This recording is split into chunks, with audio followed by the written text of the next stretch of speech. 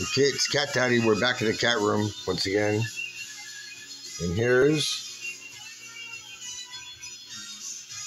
Tiger.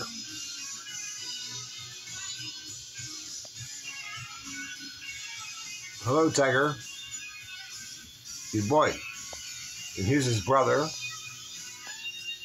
Orange Tab. He's really not in the mood to comment tonight. Orange.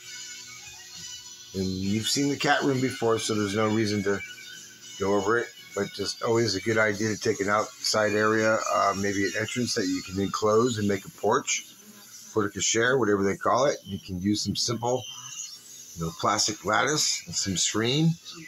Get some uh, pine, one eight it sells. We have Alice Cooper in the background here on Maui. He's a DJ now, as an old man, and yeah, it works good because the lattice kind of keeps them, you know, from able to busting out. Because if you just put screen, they can always scratch their way out. So yeah, and they have a nice cell where they can sit on and look at things, and that's wonderful. Here's Sama. She's being a little friendly now tonight. Are you, Sama? What's up? How are you? What? You're still growling? Are you not happy?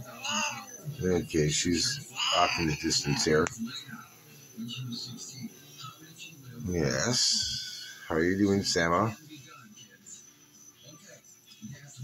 Sama?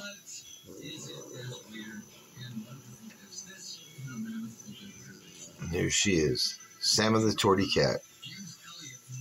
And round and round we go back to Orange Tab on his couch in the cat room. And Mr. Tiger, how's that for a guy? 18 pounds, this guy. Tiger. He's a big cat. In the cat room. Good night.